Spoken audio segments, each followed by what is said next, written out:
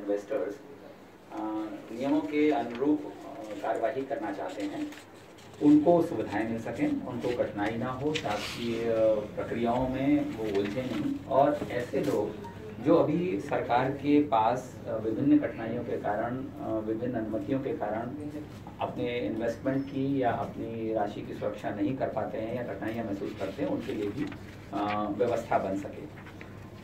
मैं जो आज आपको अवगत कराना चाह रहा हूँ, उसका एक राइटअप आपको मैंने दिया हुआ है। वो संक्षेप में है। विस्तृत विस्तृत कार्यवाही इसमें अलग से हम जो कल डिस्ट्रीब्यूट करेंगे, वो नीति के प्रत्येक अंग के बारे में लिखा हुआ होगा।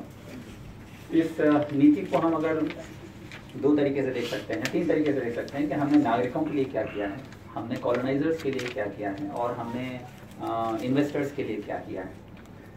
नागरिक के रूप में अगर देखें तो सबसे बड़ी चीज़ हम ये करने वाले हैं कि अब जो 27 तरह के दस्तावेज़ चाहिए पड़ते थे किसी भी निर्माण कार्य को अपने घर को बनाना है तो आपको अंदाज़ा नहीं होगा 27 प्रकार के आवेदन हम मांग सकते थे आपसे।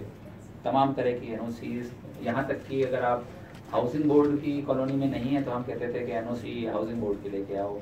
आईडीए की कॉलोनी नहीं है, स्कीम नहीं है, बना हम अपना किसी और जगह रहें घर, लेकिन हम कहते थे आईडीए से एनओसी लेके आओ। फिर हम ये भी कहते थे कि एनओसी नजूल की भी आएगी आएगी। फिर आपसे हम ये कहते थे कि आप साहब एयरपोर्ट अथॉरिटी से भी लेके आओ। इस तरह के बहुत सारे दस्तावेज़ थे, जो एक नागरिक को स्वयं का घर बनाने के लिए निर्भरता निश्चित करते थे कि किसी न किसी को उनको पकड़ना पड़ता था और फिर कहना पड़ता था कि साहब, हमारा ये काम करा दीजिए।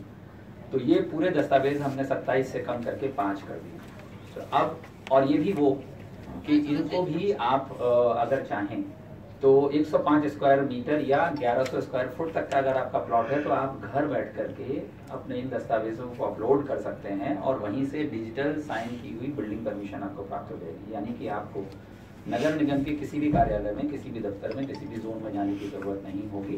आपका केवल वेरिफिकेशन होगा, आपकी प्रॉपर्टी का लिंक से कि आपने प्रॉपर्टी टैक्स दिया हुआ है कि नहीं दिया हुआ है। और अगर आपने प्रॉपर्टी टैक्स दिया है और वो ऐसी किसी डेवलप्ड कॉलोनी में है जो चाहे आई की स्कीम के अंतर्गत हो या हाउसिंग बोर्ड की हो या पहले से ही उसको लेआउट परमिशन मिली हुई हो तो आपको किसी भी अन्य कार्यालय में जाने की ज़रूरत नहीं। बाकी सारी चीज़ें हमने बैक एंड पर कर दी तो अब आप ये कर सकते हैं और ये ई नगर पालिका जो पोर्टल है जो पूरे प्रदेश में तीन सौ अठहत्तर नगरीय निकायों में लागू कर दिया गया मतलब अब आपको हर तरीके के बिल भुगतान, हर तरीके की अनुमतियाँ, हर तरीके के पेमेंट्स ये सारी चीज़ें करने की सुविधा पोर्टल पर उपलब्ध है और ये सभी तीन सौ अठहत्तर नगरीय निकायों में है। तो इंदौर नगर निगम से लेकर के, सेंधवा की छोटी सी नगर पालिका या नगर परिषद में भी आपको ये सुविधा मिल सकती है। तो नागरिक को सामान्यतः हमारे किसी भी नगरीय निकाय में ना आना पड़े किसी भी तरह के प्रक्रियाओं के लिए, ये इसका उद्देश्य है।